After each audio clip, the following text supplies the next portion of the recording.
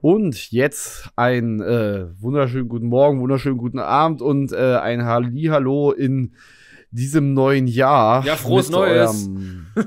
einzig wahren Warhammer 40 Pay, 40 Pay, 40 Pay Podcast. Genau. Ja, weil du dafür bezahlen musst, dass du ihn dir anhören kannst. Ist ganz klar. Ja. Fun Fact: Wir sind ja wirklich so, also muss man ja sagen, im deutschen Raum sind wir ja der wirkliche einzige 40k Podcast, den es auf YouTube gibt, ne? Echt? Habe ich gar nicht, also habe ich nicht wirklich drauf geachtet, aber äh, if you say so. Ja, also es gibt ja noch andere Podcasts, die sehr cool sind, aber die sind halt alle auf Englisch und im deutschen Raum wirklich mit zwei Leuten, die sich immer wieder treffen und nicht nur so ein Videoformat hin und wieder mal haben. Hashtag Seitenhieb. Ähm, ja, sind wir leider die Einzigen. Aber, ähm, Max, ja. ich weiß es gar nicht. Wir gehen in unser zweites Jahr, oder? Uh, ja. Denke ich. Weiß ich nicht. Das, keine Ahnung. Das ist wie äh, eine gute Beziehung. Da weißt du auch nicht, wie lange das schon läuft, ne? Ja, oder wie lange es noch hält. ähm. Alter. Ich sprach ja. von einer guten Beziehung. Apropos gut. Ihr habt uns nochmal zu den Fulgrim und äh, beziehungsweise Ferus Manus Folgen nochmal ein paar Namen geschickt und es gab einige äh, Kommentare. Hm. Also Rabatz Ratatouille fand ich nicht schlecht. Rabatz Ratatouille? Ja, Magnus der Halbtote. Okay, äh, Magnus, äh, aber Rabatz Ratatouille für wen? Das ist, glaube ich, die Verballhornung der, von Reboot Gilliman, aber nicht vom Originalnamen, sondern von Rabatz Gabadon. Ah, okay. Ja. ja. if you say so. Ja, ist Da okay. gab es Fulgrim der Philatiker, Magnus der Halbtote, Lorga Wölki, Fulgrim der Philatiker, okay. Mhm. Ja, Le Lionär Prell Bonzen und Schlag den Hai Schwan. Den raff ich nicht. Ach so. Chagatai. Scheiße. äh, Lion L. Jackson. Boris Teft hat geschrieben Warehouse Leprechaun. Wow. Ähm, Leprechaun wahrscheinlich, aber keine Ahnung. Blondie Gilliman für Sanguinius. Blut. Bobby G. Kennt man ja. Klingt wie ein Darsteller aus Erwachsenem Entertainment. Aha. Ähm, was? Johnson Simba Perturabo. Lo Ferris. Oh. Frohe Weihnachten, dir auch. Ja, Gut. Alter, frohes Neues und so. Und jetzt hier Schluss mit dem dreckigen 2023er Scheiß. Ich habe noch einen Kommentar, was ich sehr. Also, by the way, habe ich mich riesig gefreut zu, zu hören, wo ihr uns alle hört. Und äh, natürlich auch, dass ihr uns teilweise in Teilen hört. Das, das finde ich, also jemand hat hier geschrieben, das muss ich nochmal vorlesen, ich höre ob das immer auf dem Weg zur und von der Arbeit in den zweimal 15 Minuten Pausen oder gern beim Abwasch. Diese Folge 1 und 2 habe ich am 19., 20., 27. und 28. gehört. Also, okay. Ich weiß es nicht, aber ich bin nicht in der Lage, einen Podcast länger, also kürzer zu hören als äh, so. Also eine Unterbrechung ist okay, aber mehr geht nicht. Ja, kommt drauf an, wie äh, lange die, ähm, die Pausen sind. Hörst du denn eigentlich Podcasts? Außer uns. Außer uns natürlich jede Folge, nein. Ähm, tatsächlich wenig in letzter Zeit. Ich höre sehr viele Hörbücher wieder. Ähm, weil irgendwie muss ich ja mal mit dem äh, mit der Horus Heresy durchkommen. Das habe ich lange Zeit nicht gemacht. Bin ich ganz ehrlich. Aber äh, Ach, jeder hat mal eine Pause. Hm? Jeder braucht mal eine Pause. Ja, richtig. Ähm, ja, aber aktuell bin ich vor allem bei Hörbüchern. Und ich höre gerade parallel äh, zwei Hörbücher. Ja, das kann man tatsächlich machen. Eins ist mein Einschlafhörbuch, einfach weil der Sprecher so unglaublich entspannend ist. Ich höre mir gerade äh, Dune an, also den ersten Teil der Bücher, also das erste Buch. Da hast du aber was vor dir. Ich weiß, ich habe das schon gelesen. Also äh, damals auf Deutsch, mit 18, glaube ich, habe ich das gelesen. Und jetzt habe ich es mir auf Englisch als Hörbuch gehört. Äh, und dieser Sprecher hat einfach eine unglaublich entspannte Stimme. Das heißt, ich höre das immer zum Einschlafen. Das heißt, ich kriege nur die Hälfte von dem Buch mit. so, insofern. Ist ja nicht schlimm, hat man ja schon mal gehört. Ja, eben. Und ähm, das andere ist halt Old Earth. Mm. Und ich habe da gestern ähm, so richtige Minds of Moria-Vibes bekommen. Da gibt es ja eine okay. Szene, wo ähm, Vulkan mit seinen Söhnen durchs Webway geht. Ja. Wo es so total dunkel ist. Und ich musste da übelst an Gandalf denken, der halt so, der Fellowship sagt so, ähm, ja, wir müssen es mit der langen Dunkelheit Morias aufnehmen. Wo er sagt, und halt sagt, sie sollen leise sein und äh, sich leise bewegen. Und das sagt äh, Vulkan ja seinen Söhnen auch, weil sie beobachtet werden und was weiß ich. Ich habe da so übelste Moria-Vibes bekommen. Äh, ganz ehrlich, du kannst das ja auch bestimmt irgendwie replizieren, dass dann Vulkan so vorausgeht und sein Hammer so erleuchtet oder so ein Scheiß. Ja, richtig. Ähm, Fun Fact: Uns hat jemand geschrieben zu den Empress Children Folgen und das, also ich gehe ja nie auf Hate-Kommentare ein, aber den fand ich lustig. Gute Folge, aber zu viele Spoiler. Bruder, wir sind ein Lorecast. Digga, ja. Also, wie sollen wir über Lore reden, ohne zu spoilern? Also, weißt, weißt du, das Ding ist, wenn du im amerikanischen Raum vor jedem Scheiß warnen musst, okay. Die Leute sind einfach zu blöd dort, schein scheinbar. Ne? Wenn du auf die äh, Beschreibung einer Mikrowelle schreiben musst, dass du keine Kleintiere da reinstecken sollst, dann muss ich davon ausgehen, dass die Menschen dort dumm sind. In Deutschland gibt es so etwas, das nennt man dort Common Sense, also ähm, ja, genau, ne? Dass du halt selber denken kannst. Und das setzt man halt bei uns voraus. Dass du eine ja. gewisse Grundintelligenz an den Tag legst und dir deswegen klar ist, dass wenn du einen Lorecast hörst, du Lore zu hören bekommst und Lore halt auch Spoiler sind, wenn du dazu noch nichts dir angelesen hast. Ah. Aber okay, okay. Ich spreche hiermit die einzige Spoilerwarnung aus, die, ich, die es jemals für unseren gesamten Podcast geben wird. Also Achtung, Leute. Falls ihr noch vorhabt, sämtliche Warhammer 40k Bücher zu lesen, sämtliche Querverweise, sämtliche Kodizes, ähm, kleine Karteikarten, Kurzgeschichten, Audiodramen und was es alles gibt. Ja, das natürlich auch. Nee, die sind ja Ausfälle. Ähm, dann macht es jetzt und dann kommt ihr wieder. Und dann hat unser Podcast 300 Folgen und wir sind 80. Ja. Aber hey. Hey, wir sind mit 80 erst bei 300 Folgen.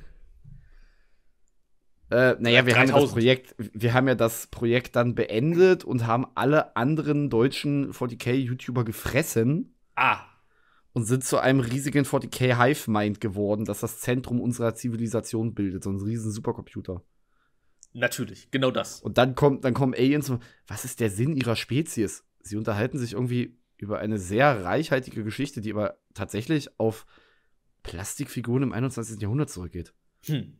Ah, aber sie scheint glücklich zu sein. Du, aber äh, Riesencomputer und sowas, das ist ein gutes Stichwort für heute. Oh Mensch, ja, dunkle Bienen auch. ähm, du hast ja zwei Themen mitgebracht, ich habe drei dabei. Ja, das heißt eigentlich, du müsstest anfangen, aber äh, ich habe keine Ahnung, über was du reden willst, insofern. Ja, aber ich weiß, worüber du reden willst. Also ja. würde ich sagen. Äh, also die Frage ist jetzt, wir können es so machen. Du haust eins raus und dann ich zwei kleine, du nochmal eins und nochmal oder wir machen, wir teilen das. Ja, komm, wir so. haben jetzt hier schon mit, mit ähm, irgendwelchen Riesencomputern angefangen, also fangen wir doch mal mit einem meiner ähm, ja, Lieblingsthemen an in diesem Universum tatsächlich. Ähm, das ist ein, weißt du, du kennst doch, wenn du Themen hast, zu denen du kein Skript brauchst. Ja. Ich habe vorher noch mal in den Wiki-Artikel reingelesen und ja. Das ist okay. bei der Vorbereitung gewesen zu diesem Thema. Ähm, um was geht's? Es geht heute um die Standard Template Constructs.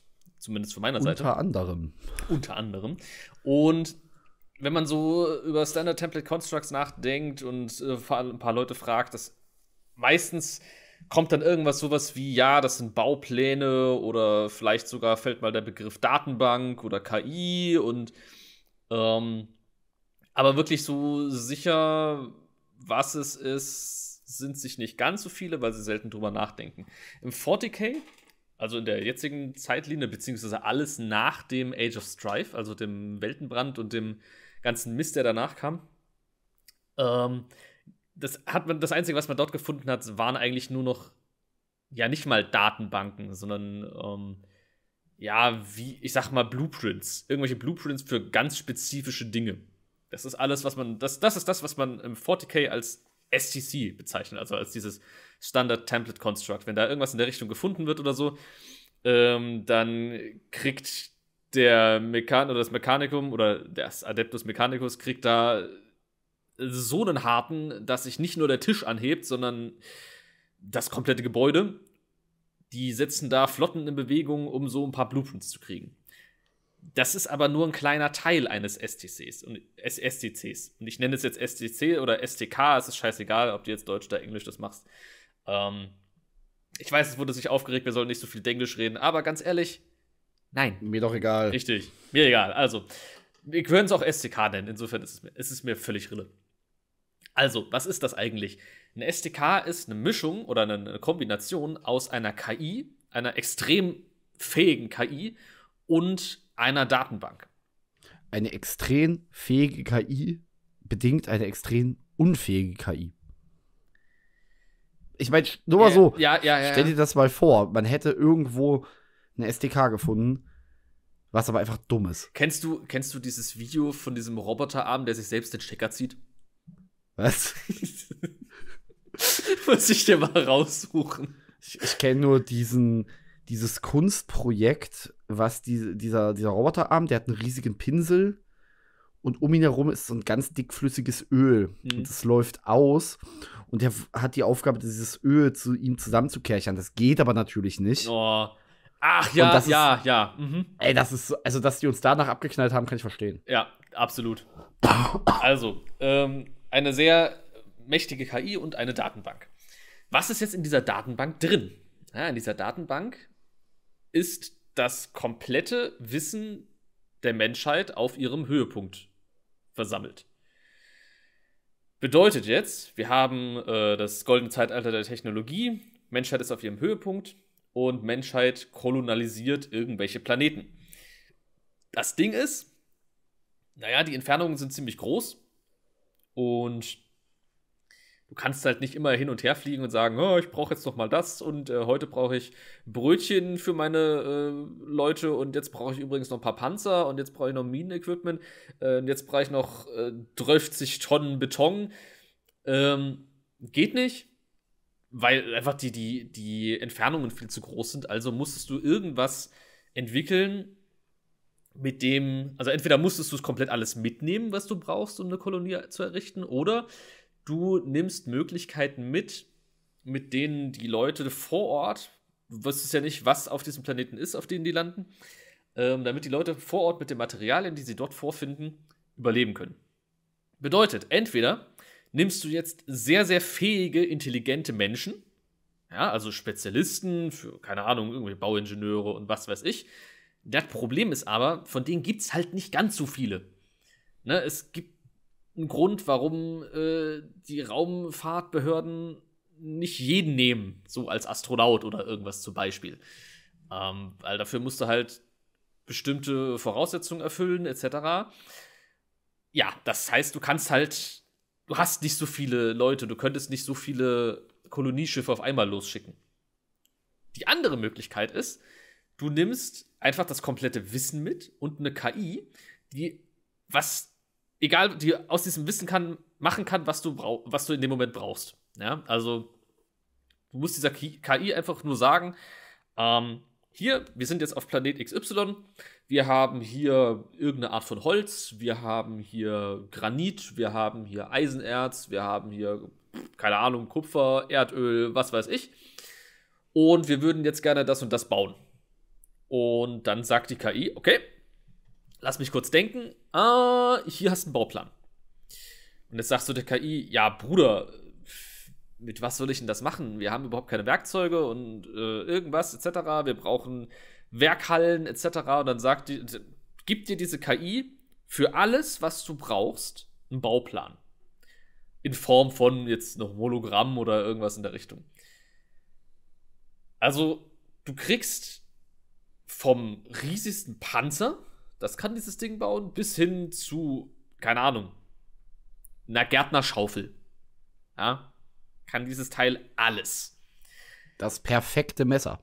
Das perfekte Messer, beispielsweise. Oder einfach nur das ein ist, besseres Messer.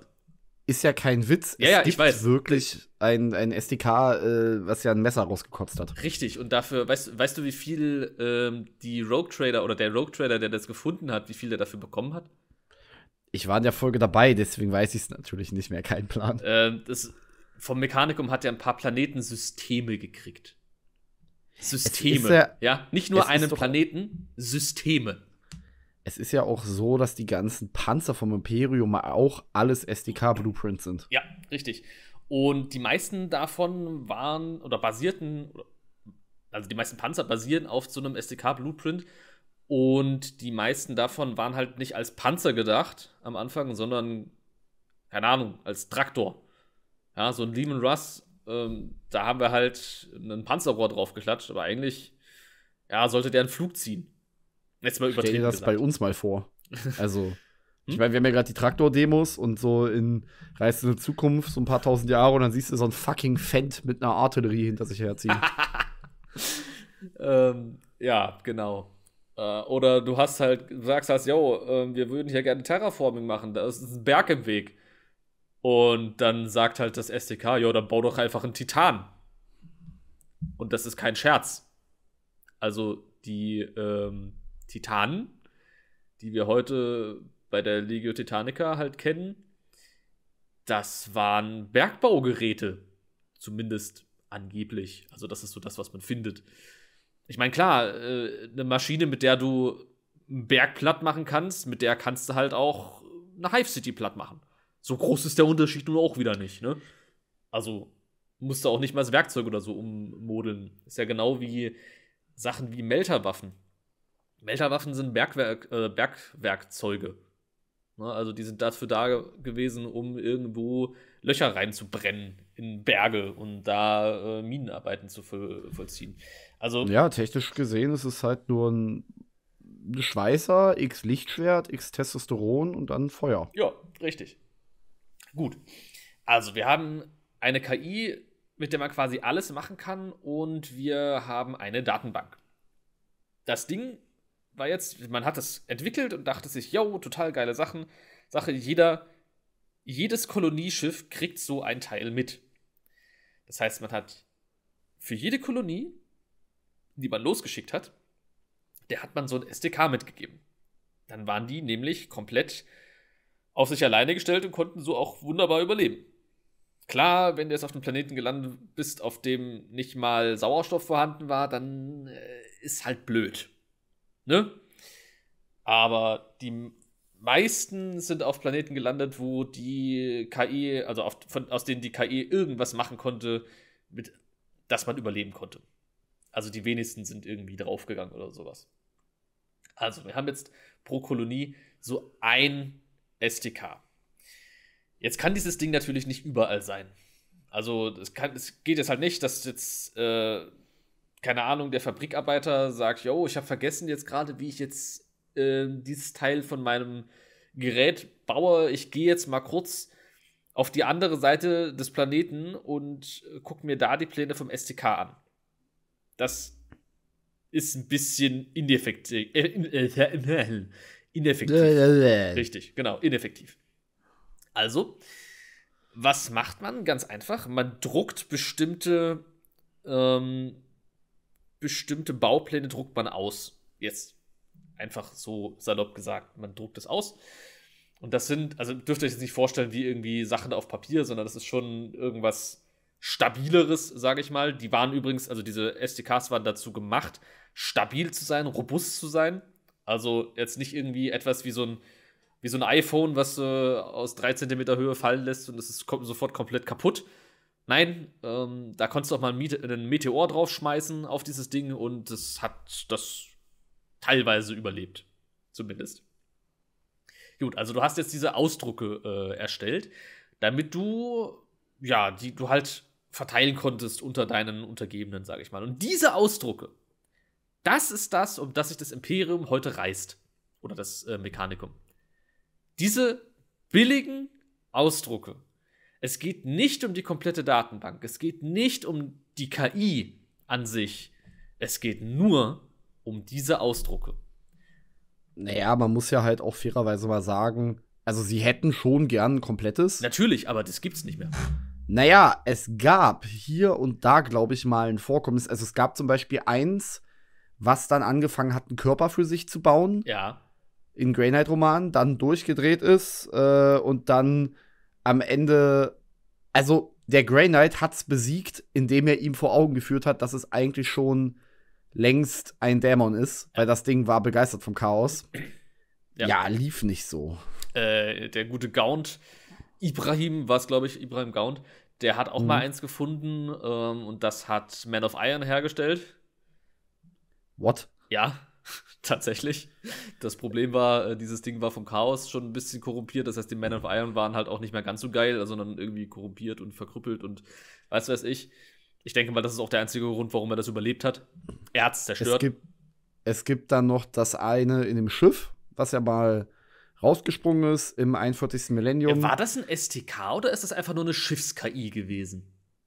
Uh, das ist eine gute Frage. Ich dachte nämlich, das ist eine Schiffs-KI gewesen, die halt so mit ihrem äh, Captain verbunden war, der dann ja gestorben ist, was diese Schiffs-KI halt übelst traumatisiert hat. Ja, die ganze Crew halt. Ja. Also das, ja. das weiß ich, dass es da Okay, da, da, bin ich, da bin ich mir auf jeden Fall unsicher, ob es ein SDK hatte, aber es gab auch mal eins, was. Nee, also da, okay, nee, stimmt, das war diese Schiffs-KI, die halt dann im Space halt gelandet ist und am Ende sich dann trotzdem abgesetzt hat, ja. indem es die Terminator-Rüstung alle überladen hat und so ein Scheiß. Terminator-Rüstung übrigens auch ein ähm, SDK-Design. Äh, alle, also ich sag mal, vom Land Raider, vom Fun Fact, Land Raider heißt nur Land Raider nach dem Erfinder Arkan Land, der es nicht erfunden, sondern halt er gefunden hat, also er der Erfinder. Ja. Ähm, und man muss ja auch sagen, nochmal zu den Man of Iron, äh, es gibt ja diese Theorie, dass die Man of Iron das Chaos gefunden haben das mal durchgerechnet haben und dann auf den Plan kam, okay, Maschinen sind nicht korrumpierbar in dem Maße, also löschen wir einfach die Menschheit aus. Dass das eine Fehlrechnung war, ist klar, aber äh, ja, wer weiß. Die Idee war gut. ähm, ich habe noch so ein paar Theorien, wo eventuell noch SDKs bis zum äh, Großen Kreuzzug oh. überlebt haben. Und okay. zwar, ja, gibt es ein paar sehr, sehr hoch entwickelte Kulturen. Bei den Interrex zum Beispiel dachte ich mir, ja, eventuell. Aber die wurden am Ende zu schnell besiegt für meinen Geschmack. Ja, es war auch schwierig, aber die wurden am Ende zu schnell besiegt. Es gab eine Zivilisation, die ist auf die Iron Hands gestoßen. Diasporex? Waren es die Diasporex? Meinst du diese äh, Weltraumnomaden? Ja. Das waren die Diasporex.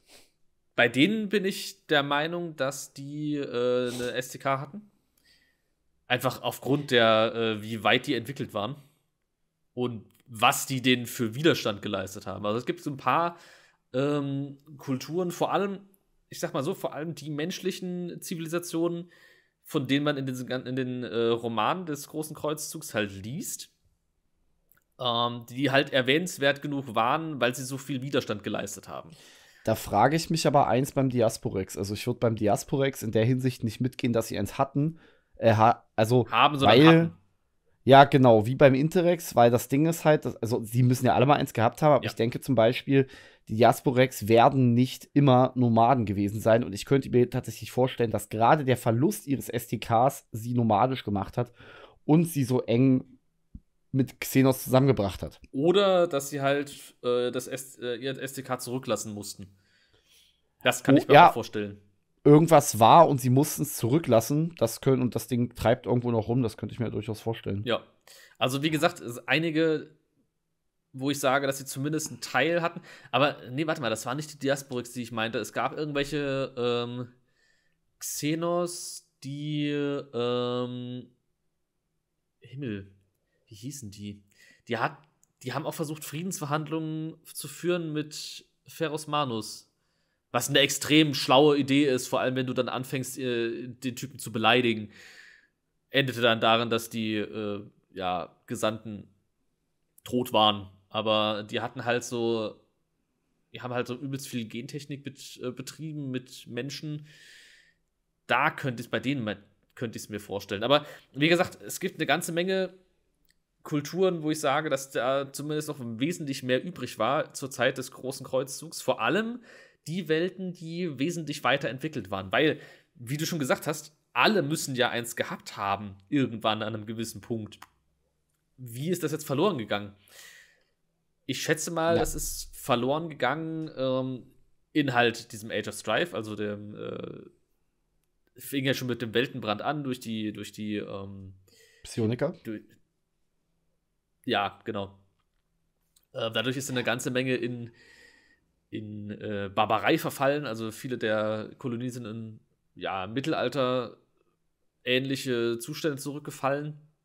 Ja, die Hochentwickelten haben sich auch bekämpft, also mit Atomwaffen und so einem Scheiß. Klar geht immer was kaputt. Richtig, richtig. Deswegen äh, denke ich, da ist eine ganze Menge äh, verfallen. Bei diesen Welten, die einfach ins Mittelalter zurückverfallen sind, kann ich mir sogar vorstellen, dass diese Dinge einfach irgendwo vergammelt sind weil keiner ja. eine Ahnung hatte, was es ist und was es macht. Und äh, ja, ich könnte mir tatsächlich auch gut vorstellen, dass du auf mhm. irgendeiner so Night-Welt äh, viele Jahre lang noch so einen STK hattest, mit denen halt die, die Knights dann halt regiert haben, sage ich mal. Weil irgendwie musst du es ja schaffen, diese, diese Knights ja am Leben zu halten, Anführungszeichen, oder halt am Laufen zu halten. Na, ich sag mal so, man kann ja jetzt selbst bei uns in der Antike schon nachweisen, dass es da irgendwelche Computer gab. Also im Sinne, also was wir als einen Computer bezeichnen würden oder irgendwelche astronomischen Sachen oder diese Statuen, die mit so antiken Batterien funktioniert haben. Aber das ist ja bei uns jetzt, wenn es hochkommt, mal maximal 2.000, 3.000 Jahre her. Ja. Richtig. Und ich meine, überleg mal, du kann, die können da 800, 900 Jahre noch rumgespackt haben mit dem SDK und dann gibt es irgendein Erdbeben, irgendeine Scheiße und dann haben die praktisch so eine Art Atomreaktorunglück, Puff und super. Ja. Ne? Da kannst du es nicht mehr zusammenbauen. Richtig, ne? Fukushima und dann äh, war's das. Ich meine, stell dir das mal vor, unsere Gesellschaft würde zusammenbrechen, du hättest halt noch bestimmt einige Städte, die mit Atomstrom funktionieren, aber wenn so ein Ding mal hochgeht, wer geht denn da hin und versucht es zu reparieren und geht wahrscheinlich mit drauf? Ja, der Techniker. Ja. Gut, das äh, ja, würde es zumindest erklären. Also, Glaubst du, irgendwo ist noch eins? Ein STK? Ein komplettes? Ja. Glaube ich ziemlich fest daran. Also, das Ding ist halt, Games Workshop hat nicht gesagt, dass es keins mehr gibt. Definitiv nicht. Richtig. Und ähm, ich könnte mir vorstellen, es wäre ziemlich dämlich von Games Workshop, zumindest jetzt aktuell äh, die Menschheit eins finden zu lassen. Aber wenn wir auf irgendeine Art Endtimes hinsteuern sollten irgendwann, dann wäre es ziemlich geil, die Menschheit so ein SDK finden zu lassen. Weißt du, du hast halt, obwohl, das wäre gar nicht dämlich, so rein wirtschaftlich gesehen, weil Menschheit ist gerade so übelst am Untergehen, dann finden sie ein SDK, aber es reicht halt nur, um den Status quo zu erhalten. Naja, ich denke eher so, dass das Ding ist, wenn man SDKs halt einführt, die Frage ist halt, wozu. Und also was ich, was ein bisschen danach klingt, irgendwie, sind diese Väter der Wotan. Ja. Aber, also, aber halt irgendwie so ein überladenes SDK, also so wie es die Wotan-Lore gelesen habe, ist es ja auch so, dass die ihre, ähm, diese riesen KIs tatsächlich mit diesen Ansehen auch irgendwie so ein bisschen kaputt machen. Weil da zu viel ist für die. Ja, dass der Speicher irgendwann nicht ausreicht. Ja, und vor allen Dingen, wenn du halt eine Persönlichkeit, also so ein bisschen wie beim Imperator, wenn du immer mehr Persönlichkeiten reinschmeißt, irgendwann geht die Urpersönlichkeit verloren. Ja. Na gut. Aber so viel zu den Standard-Technologiekonstrukten, außer du hast noch mehr. Äh, nö, ich denke, das sollte erstmal einen groben Überblick äh, geben und euch, oder naja, einen Überblick halt euch verstehen lassen, was ein STK ist. Julian, jetzt bin ich gespannt, was du mir mitgebracht hast. Ich habe okay. ja in unserem Chat schon ein bisschen was gelesen, dachte mir, what the fuck. ähm, du hast ja vorhin von dunklen Orten gesprochen. Und äh, ja, naja, Vulkan und so, so. Moria. Und ich dachte mir so, wenn du jetzt schon über SDK und dein zweites Thema redest, nehme ich uns doch mal mit in eine Reise von äh, verschlossenen Orten des Imperiums der Menschheit, die dunkle und gruselige Scheiße ähm, haben. Dunkle, gruselige Scheiße ist immer gut. Genau. Und äh, du kannst mein ausführliches haben jetzt oder ich gebe dir meine zwei kleinen. Ja, bitte das ausführliche. Gut. Was sind die Schlüssel von Hell? Es sind Feuer, die vom Berg genommen wurden. Sie sind das, was nicht sein sollte und darf. Erst in den letzten Tagen der Menschheit, wenn das Gesetz keine Bedeutung mehr hat, sollte irgendjemand daran denken, die damit verbundenen Schlösser aufzubrechen. Das sind diese Tage. Eisenvater Cyrus. Ähm, die Schlüssel von Hell oder auch Case of Hell genannt. Ja, ähm, die gehören zu den Iron Hands. Und ah, Ferus Manus ich, ich, und seine Jungs. Ja, ich glaube, ich weiß, was das ist. Sind ja ziemlich technikaffin. Aber selbst Ferus Manus oder gerade er hat ähm, entschieden, dass es technische Sachen daraus gibt, Archotech und Co., aber auch Xenos-Technologie, die ein bisschen zu gefährlich ist. Ähm, unter anderem so, wie man Tote wieder zum Leben erwecken kann. Mhm. Haben die Iron Hands übrigens in der Heresy zweimal probiert. Nämlich haben sie einmal probiert, ihren Primarchen zurückzuholen, also auf so eine weirde Art und Weise, wo sie ihm, also sie haben einen Arm abgeschnitten von Ferus Manus auf Istvan 5 und haben den in so eine Art Maschine reingesetzt. Also, und das war dann so eine Art Roboter, der auch ein bisschen antworten konnte und so ein scheiß Vulkan hat das Ding zerkloppt. Naja. Ähm, und jetzt ist es sehr interessant, finde ich, denn Ferus Manus hat er definiert, was man darf und was man nicht darf. Und ja, die Iron Hands hatten somit eine versteckte Operation unterhalb des großen Kreuzzuges, denn sie haben nicht nur ähm, Welten komplett erobert und Xenos in den Staub getreten. Nein, sie haben nämlich auch nach Technologie gesucht. Und immer wenn sie Elemente solcher verbotener Technologie gefunden haben, haben sie sie eingesackt. Und selbst das Mechanikum, mit dem sie ja sehr eng zusammen waren, erfuhr nichts davon. Und da haben sich mir zwei Fragen gestellt. Nämlich erstmal, woher wusste Ferus, was verboten ist? Und da bleibt mir selber nur eine hm, Antwort, aber was meinst du denn, wie er darauf kam, welche Grenze und welche nicht? Ich, das weiß ich gerade echt nicht. Naja, ich denke mal, das wird der Einzige gewesen sein, der damals sowas halt aufstellen konnte. Und das wird der Imperator selbst gewesen sein. Mhm. Und das, was ich daran interessant finde, ist, also was man, also das ist jetzt so ein bisschen Headcanon, aber es ist halt für mich die logischste Antwort. Also Ferros wird ja auf Medusa großgezogen, von Medusa selbst so gesehen. Eigentlich, eigentlich so ein bisschen ist ja so ein Te Tech äh, Lionel Johnson. Auf so eine ver verrückte Art und Weise. Ich meine, er zieht umher und haut Bässchen um. ja. Blo bloß Vereinigung macht er nicht. Naja, Imperator findet ihn, Iron Hands und so ein Scheiß. Und am Anfang scheint es so, zumindest, dass jeder Primarchen eine Weile auf Terra halt ausgebildet wurde die jetzt, die das nicht waren, waren zum Beispiel Jagata Khan und Co. Ähm, oder Alfarius und so. Und die waren dann auch meistens, im, wurden immer so ein bisschen shady gesehen.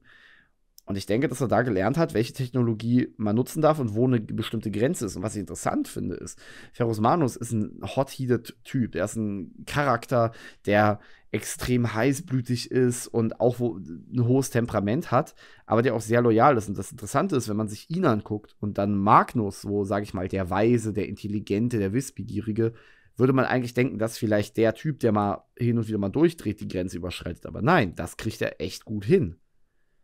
Also, wenn der Imperator sagt, bis hierhin und nicht weiter, ist das für Ferus Manus ein Gesetz.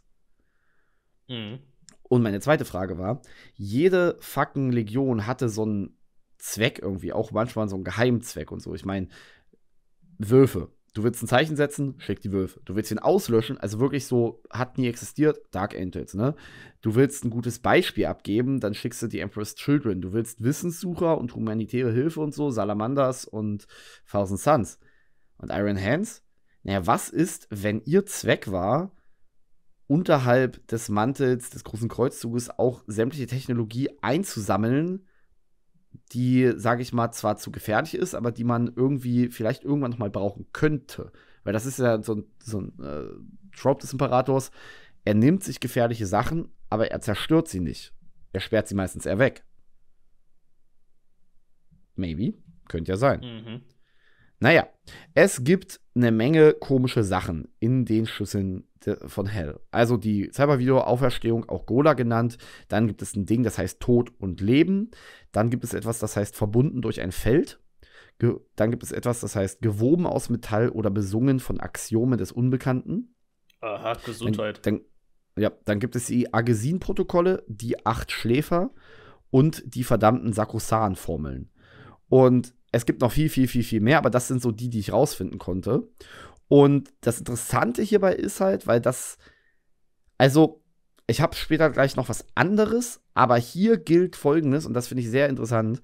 Das ist, also, wir haben hier eine Legion, die Abgrund fucking tief Xenos hast. Iron Hands sind wirklich Xenos-Hasser par excellence. Ne? Gute Männer. Ja. Sehr gute also, Männer. Da war so ein Elder, der hatte einen wirklich guten Punkt und vielleicht hätte man ihm zuhören sollen, aber er war ein Xenos und deswegen hat er einen Streithammer in die Fresse bekommen. Zu Recht. Ja.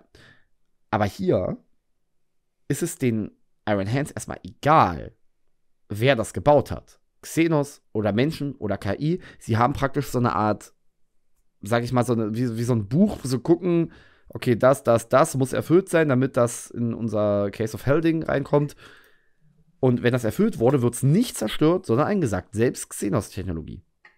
Ähm, gibt es dafür naja. eine, also gibt es da wirklich eine Liste für? Naja, es muss ja, also Ferus Manus hat ihn, hat ihn ja praktisch erklärt, was diese verbotenen Technologien aber sind. Aber das ist ja nicht uns nicht bekannt, was das was Nein, das nein, nein. Okay. Nein, aber es gibt irgendwas, wo er gesagt hat, das darf nicht weitergehen. Es gab wohl auch keinen Vorfall oder so in der gesamten Geschichte der Iron Hands, der das halt begünstigt hätte. Und das klingt halt so ein bisschen so, wie als hätte der Imperator gesagt, ey, dunkles Zeit der Technologie, KI, alles furchtbar schlimm, dauert zu lange, um das jetzt jedem Menschen zu erklären, aber guck mal, das ist damals passiert, weil das ist eigentlich der einzige Vorfall, womit, wo Technologie und nicht Warp oder Xenos was zerrissen haben. Mhm. Genau, aber und Ferus Manus ist halt jemand, der wahrscheinlich ein wirklich tieferes Verständnis auch so ein bisschen vom damaligen Plan hatte, weil er hatte sehr viel Zeit mit dem Imperator und außerdem hatten sie einen fucking Dragon Ball Z-Kampf. Das verbindet Männer. ja, also Ferus Manus äh, packt alles weg und dreht den Schlüssel um, schmeißt ihn aber nicht weg. Aber in einer dunklen Zeit kann man den Schlüssel ja auch umdrehen. Nun, zum Ende des großen Kreuzzuges um waren die Iron Hands. Um ja, ja, ja, genau. Äh, äh, aber man weiß ja, nach Fest kommt was. Ja, ja. Mhm. Ja. Dran, Am ganz Ende, fest dran. Genau. Und dann macht's Knack. Am Ende des großen Kreuzzuges waren die Iron Hands besessen von Stärke und diesem Verbünden mit Fleisch und Maschine und das Fleisch ist schwach und bla bla bla bla. Und äh, sie haben sogar den Imperator als eine Maschine gesehen, die einfach nur aus Blut, Fleisch und Knorpeln besteht. Okay, alles klar und äh, größte ihre Wahrheit, in den Dreadnought eingepackt zu werden. Und außerdem waren einige Iron Hands kaum noch menschlich. Also, die haben auch ihre Emotionen runtergedammt. Noch nicht so schlimm wie danach, aber war schon echt übel.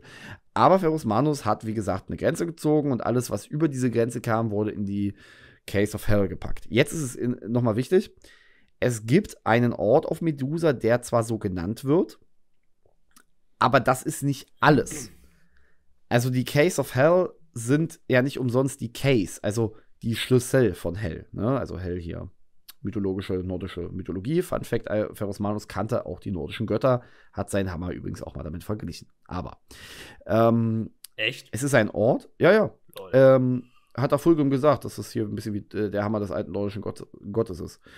Und ja, es gibt einen Ort, der ist luftleer abgeschlossen und das da ist alles zu und so. Und ja, der ist auf Medusa, aber auch in der ganzen Galaxis sind Orte versteckt, wo Sachen drin eingelagert sind, die irgendwann Ferus Manus dort mal versteckt hat. Ein bisschen wie die Artefakte von Vulkan, bloß in richtig super böse. Und das sind meistens Orte, die nicht so leicht erreichbar sind. Also irgendwas, was mega radioaktiv ist, Todeswelten, aber auch einfach Gesteinsbrocken, die ausgehöhlt wurden, wo Kram eingelagert wurde, wieder versiegelt und die umkreisen tote Sterne und Sternsysteme. Ja, wie gesagt, weggesperrt, aber nicht zerstört. Und nach Ferros Tod begingen einige Eisenväter der Iron Hands das Malatek in Kana. Mhm. Und das ist so gesehen die Tech Heresy. Und es ist die kybernetische Auferstehung. Und das ist eine einzige Technologie aus den Case of Hell, und was auch wiederum, sage ich mal, ähm, unterstreicht, dass die Iron Hands entweder nur Zugriff dazu hatten oder auch nur in der Lage waren, ohne ihren Primarchen das eine Ding zu verstehen. Und so haben sie halt einige gefallene Brüder wieder zum Leben erweckt. Und da habe ich mir eine Frage gestellt. Ich sag mal so, das ist aus dem Dark Age der Technology. Könnte es sein, dass das eine richtig perfide und eklige Idee der Man of Iron war, weil die Dinger konnten sprechen, hatten ein Gedächtnis und waren schwer zu töten. Außerhalb der Kämpfe mussten sie in Kryogenkapseln gehalten werden. Irgendwann werden sie halt immer, immer langsamer und ja, das geht, das klingt ein bisschen so, als hätten die Iron Hands so das Protokoll nicht ganz richtig ausgeführt. Aber warum komme ich jetzt auf Man of Iron? Ich habe mir gedacht, vielleicht, also A, haben sie sich gedacht, so in einem witzigen Anfall nach, nach dem Motto, wir machen euch zu dem, was ihr bekämpft. Mhm. Psychologische Kriegsführung nach Motto. Aber es gab ja auch Menschen, die halt bestimmt super wichtig waren im Krieg und die halt dann teilweise so waren, you never take me alive und sich halt einen Headshot verpasst haben. Ja, dann bauen halt die Men of Iron die Typen einfach wieder zusammen. Ja. Ja, die Men of Iron sagen, haha, sucks to be you. Genau. Und jetzt ist es so, was, was ist, wenn du dann halt dir wieder eine Knarre nimmst und wieder in den Kopf schießt? Naja, ganz einfach. Du wirst wiedergeholt. Denn ähm, auch nach einem Tod kannst du wiedergeholt werden. Es ist jetzt nicht so, dass du ein Sklave bist. Also einige Eisenväter, wie zum Beispiel Kastigan Urlok, hat es äh, so gesehen, sich die kybernetische Auferstehung zunutze gemacht und hat sich einen Sarg gebaut, also so eine Kry Kryostase-Tresor. Und ähm, er wollte unbedingt verhindern, dass wenn er stirbt, dass dieser Sarg ausgeht und er dann stirbt. Also endgültig. Mhm. Und er hat so eine neuromorphe Unterroutine in das Ding eingebaut. Und das ist halt basically eine fucking KI. Huh. Die ihn halt, die diesen Sarg für ihn steuert. Genau. Ja, aber das ist erstmal alles, was wir zu den Case of Hell wissen. Ich dachte, es passt ganz gut rein. Ähm, ich habe jetzt auch noch zwei kleine Themen, aber ich habe diese Man of Iron mal angesprochen, Max. Kannst du mir zu denen noch was sagen? Ja, ein bisschen was kann ich dir zu denen erzählen. Unter anderem gibt es nicht nur die Man of Iron, sondern gibt es noch die Man of Stone, die Man of Gold. Aber. Ah, ich verstehe, Lannisters. Richtig. Aber das, das Ding ist, man weiß zu beiden sehr, sehr wenig. Wobei ich zu dem Man of Stone ja so ein paar Theorien ge äh, gefunden habe, aber du weißt, man weiß wirklich extrem wenig. Was man weiß, ist, dass die Men of Gold wohl irgendwie irgendwelcher Übermenschen waren oder zumindest irgendwas Besonderes, die sich mit dem Imperator zusammengetan haben, so ums 20., 21. Millennium. Nicht Jahrtausend, also nicht jetzt, 21. Äh, 21. Jahrhundert, sondern 21. Millennium, also Jahrtausend. So, genau. Habe ich jetzt Scheiße erzählt? Nee, genau. Also, ah, da habe ich aber zu Man of Gold ich auch noch eine Theorie, ja? Ja, bin okay. ich gespannt. Aber, also, es waren wohl irgendwie besondere Individuen. Ja. Und die sich wohl mit dem Imperator irgendwie zusammengetan haben oder der hat sie gesucht oder die haben ihn gesucht. Man, man, weiß es nicht genau. Also der ganze Mist in der Zeit, so um 20. Millennium, ist ja sehr, sehr, ähm, ja, in Mysterie gewoben. Also wenn ihr euch an unsere Timeline-Folgen zurückerinnert, wir sind da relativ schnell durch. Ne? Also durch die Zeit. Gut. Ähm, die haben also irgendwas mit dem Imperator gemacht und der hat sie über Terra verteilt quasi und gesagt, hier, seid fruchtbar und mehret euch. Äh, nee, Moment, das war jemand anders. Ähm, aber die haben sich auf jeden Fall verteilt über Terra und haben sich so unter die Bevölkerung gemischt und ähm, ja, sich da durchaus auch in den Genpool eingebracht und haben wohl dadurch, dass es halt scheinbar irgendeine Art Übermenschen waren, äh, die Technologie oder den technologischen Fortschritt vorangetrieben und ja, waren wohl eine Art Führungsperson, wie auch immer. Irgendwie oder irgendwie, äh, irgendwann oder irgend, warum auch immer, man weiß es nicht, sind die verschwunden oder getötet worden oder ausgelöscht oder äh, weggezaubert, keine Ahnung. Ich, ich weiß es nicht. Die sind irgendwann, waren die einfach weg. Warum, weiß keiner. Aber die haben vorher die Men of Stone erstellt. Was sind jetzt die Men of Stone? Ha, das ist eine gute Frage. Und es gibt. Ich kenne die Geschichte ganz anders, okay. Tatsächlich? Da bin ich gespannt. Ja, ja. Ähm, also, die, was sind jetzt die Men of Stone? Da ist man sich noch unsicherer, was äh, als zu den äh, Men of Gold. Aber man weiß auf jeden Fall eines. Die waren sehr resistent gegenüber dem Warp. Warum? Weil sie keine Seelen haben. Oder zumindest nichts Vergleichbares. Die waren also sehr gut für Warp-Reisen, bevor man so die ganze Scheiße mit dem Gellerfiel ver äh, verstanden hat. So, Julian. Wer hat denn noch keine Seele? Die Tau? Und die, also ich, ich kenne mich mit, also das, so, ich weiß ja ein bisschen was über die, Verzeihung, über die, über diese ganzen Kram, also wir haben das ja auch schon mal durchgenommen. Aber ist das nicht auch so, also das, das hört sich so fast schon ein bisschen nach Wotan an. Äh, ja, korrekt. Und die haben keine Seele. Weißt du, warum die keine Seele haben? Weil das Klone weil die sind. alle ja, genau, weil das alle Klone sind. Richtig. Also, beziehungsweise, wir haben, also jetzt so langsam könnte man sich an die scheiß äh, Votanlo noch mal rantrauen, aber irgendwie sind sie es ja, aber irgendwie auch nicht so ganz. Also, es ist nicht bestätigt. Es gibt nur ein Arsch voll Theorien dazu. Ähm, manche Leute sagen halt sowas offensichtliches wie, naja, es sind Zwerge, Zwerge graben in Stein, Man of Stone, ja, also, ja, okay das Ding ist, wenn wir irgendwo die, eine Theorie aufstellen wollen, dann möchten wir schon ein bisschen mehr als es sind Zwerge, also sind es die Menschen der Steine. Ähm, ja, es wäre obvious, aber Leute, es wäre, es wäre halt offensichtlich und das ist halt langweilig, ne? Also, sie haben keine Seele, sie sind sehr widerstandsfähig gegenüber des, äh, den Warps, sie sind sehr technikaffin, sie sind sehr intelligent und die Men of Stone haben am Ende die Men of Iron erschaffen. Das ist zumindest das, was ich rausgefunden habe, was ich jetzt als aktuell gelesen habe. Ich weiß, es gibt noch andere Geschichten dazu. Und ich, weil du es vorhin angesprochen hast, was hast denn du gehört dazu? Ich kenne das ein bisschen in einer anderen Order. Ich kenne es so, dass die Men of Gold halt die ursprüngliche Rasse der Menschheit waren, so gesehen, also die ja. sich mit Genetik verbessert haben. Ja. Diese erschufen dann die Men of Stone und diese wiederum erschufen dann letztendlich die Men of Iron zur Hilfe. Und die wandten sich gegen sie und die Men of Stone opferten sich und mhm. dadurch wurde der Man of Gold praktisch gerettet. Eine andere Theorie ist so besagt, weil es gibt, die Elder nennen den Imperator ja eine wild gewordene Waffe aus dem dunklen Zeitalter. Ähm, oder eine von, der, von ihrer von der Leine gelassene. Es gibt eine Theorie, glaube ich, dass der Imperator der letzte Man of Gold ist oder so. Mhm. Also in der Reihenfolge kenne ich es halt. Ja, okay. Der ist ja nicht, nicht groß anders. Ähm.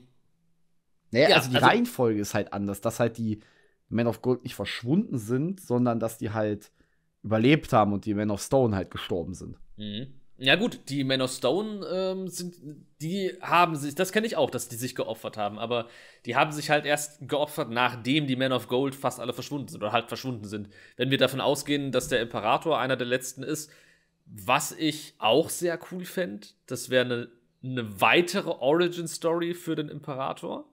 Fände ich sehr interessant. Habe ich so auch noch nicht gehört. Ähm, ja, wir machen erstmal bei den Man of Iron weiter. Die hast du ja ein paar Mal angesprochen. Man of Stone haben wir jetzt soweit. Oder Man of Gold und Man of Stone haben wir soweit geklärt, dass wir keine Ahnung haben, was es ist. Und man muss ja auch dazu noch mal sagen, auch wenn das eine Aussage der Eldari ist, haben ja die Eldari so gesehen ja auch nicht immer recht. Ja. Also das ist ja nur ein Blickwinkel auf die Geschichte. Richtig. Aber, wie gesagt, die zwei, wir wissen nicht genau, was es ist, wo es herkommt, wo es hingegangen ist. Aber zu den Men of Iron wissen wir ein ganz klein bisschen mehr. Was sind die Men of Iron? Die Men of Iron, die meisten sagen, es sind quasi die Terminator des 40k. Unterschreibe ich so nicht. Warum? Ein Terminator ist nur zum Töten da. Es ist eine Kriegsmaschine. Da sind wir uns, denke ich, einig, oder? Man of ja. Iron, Man of Iron ist intelligent. Das muss eine Killermaschine nicht sein. Eine Killermaschine äh, wie ein Terminator, ja, der ist nicht blöd. Der hat bestimmt auch eine, äh, ein gewisses Maß an künstlicher Intelligenz oder irgendwas in der Richtung oder KI. Aber ein Man of Iron ist halt typisch Warhammer-Universum, ja, nochmal krasser. Ähm, das ist ein ja, ein, ein Bewusstsein, was sich, also was sich selbst bewusst ist.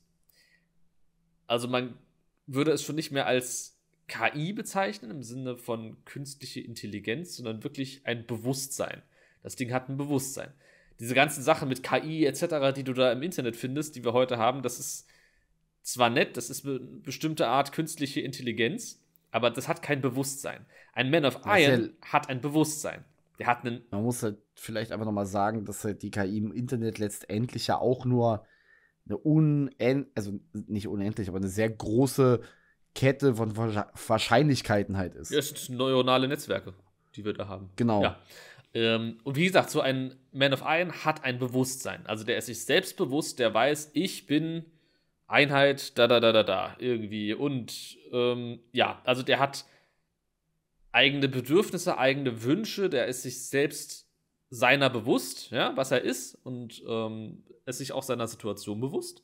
Und seine Situation ist halt einfach die, dass er den Menschen dient. Und dass er quasi die Drecksarbeit für die Menschen macht.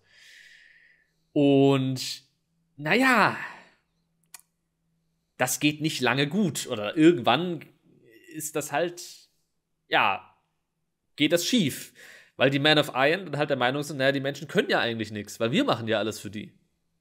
Ja, klar. Warum sollen wir denen dienen? Und die Man of Iron widersetzen sich den Menschen. Das Problem daran ist, das sind Maschinen. Maschinen, die dafür gemacht sind, schwere Arbeit zu machen, natürlich auch Kriege zu führen. Ne? Das waren auch, auch die Soldaten der, äh, der Menschen, aber vor allem einfach die Arbeiter. Und naja, wenn du jetzt ein 1 gegen 1 von einem Menschen gegen einen Man of Iron hast, der Man of Iron lacht dich aus und dadurch stirbst du. Ja, also der ist einem normalen Menschen in allem überlegen. Der kann besser zielen als der, der ist stärker als der, der ist schneller als der, der ist auch größer als ein normaler Mensch. Ähm, und naja, der kann sich selber reparieren, der kann ähm, sehr schnell sehr viele Daten verarbeiten, also Taktik etc. ist der extrem gute drin, einfach weil es eine sehr, sehr weit entwickelte KI ist. Wir haben jetzt, glaube ich, schon irgendwann mal in unserer Timeline-Folge über die Cybernetic äh, Revolt gesprochen, also die cybernetische Revolution oder Revolte, in der die Man of Iron sich aufgelehnt haben. In diesem Kampf zwischen der Menschheit und den Men of Iron ist eine ganze Menge kaputt gegangen. Wurden ein paar sehr, sehr heftige Waffen eingesetzt. Unter anderem eine Waffe, die halt Sterne zerstören kann. Ja, also hier Sternenzerstörer aus Star Wars beiseite mit dir. Hier kommt eine Waffe, die das wirklich kann. Ähm, es gab Waffen, das waren quasi wie so, wie so es waren Nanoroboter, also so eine kleine Nanomaschinen, die hast du auf dem Planeten losgelassen und die haben diesen Planeten innerhalb von ein paar Stunden komplett abgetötet. Also alles Lebendige auf diesem Planeten wurde einfach zerstört durch diese kleinen Nanomaschinen. Atomwaffen war Spielzeug bei denen. Ja, also wir reden hier wirklich von sternenvernichtenden Waffen, die, wir, die dort eingesetzt wurden. Ähm, die Menschheit gewinnt diesen Kampf, jedoch nicht alleine. Also man vermutet, dass der Menschheit geholfen wurde durch verschiedene Xenos-Rassen. Das vermutet man, weiß man aber nicht genau. Ich würde sagen, jein, eventuell vielleicht. Warum? Naja, die Menschheit war zu dem Zeitpunkt die größte Macht in der Galaxis. Ja, also die hat ich, ich meine, wir reden hier von der Menschheit, die einen Friedensvertrag mit den Orks ausgehandelt hat, ja? Also, ja, ich glaube nicht, dass da groß andere Xenos-Rassen eine große Hilfe waren. Vielleicht so äh, moralischer Beistand, so nach dem Motto, yo, ihr macht das großartig, Leute. Weißt du, wie so Cheerleader, die am Rand stehen. Ja, Menschheit, Menschheit.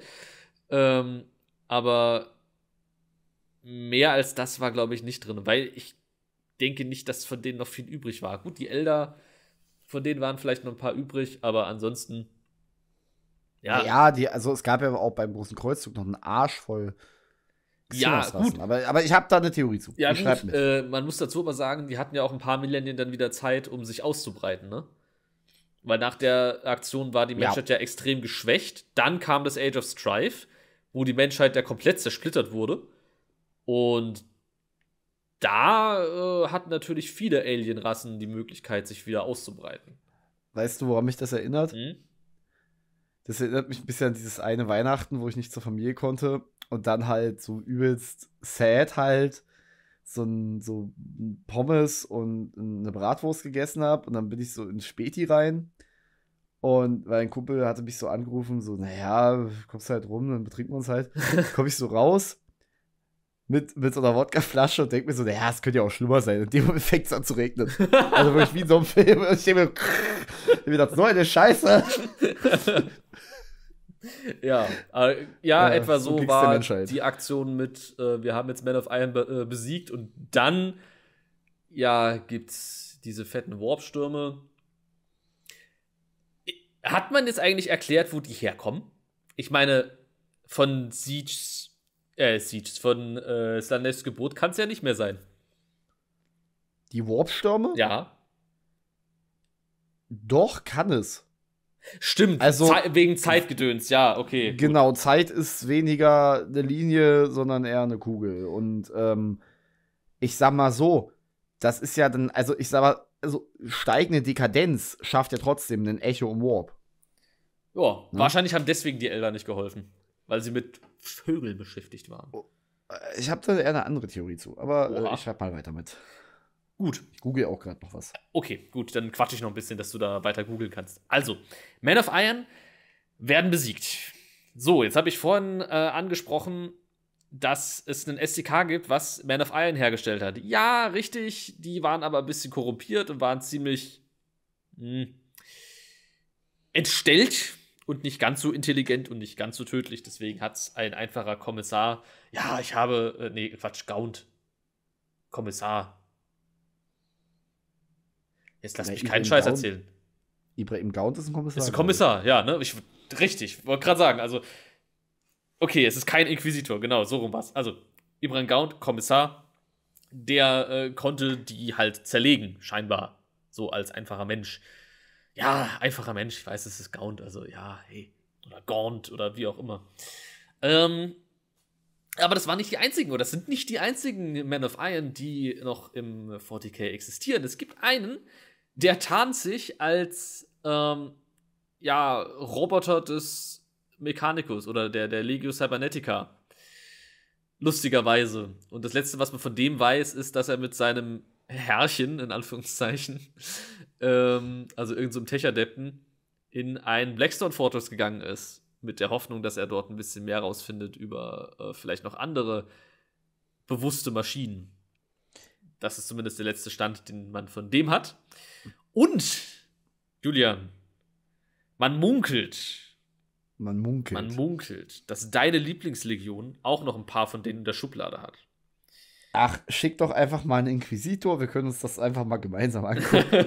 Richtig. Hm, der Inquisitor ist nie bei uns angekommen. Das ist aber komisch. Ich, oh, hier, hier treibt sein Schiff. Oh nein, wie konnte das denn passieren?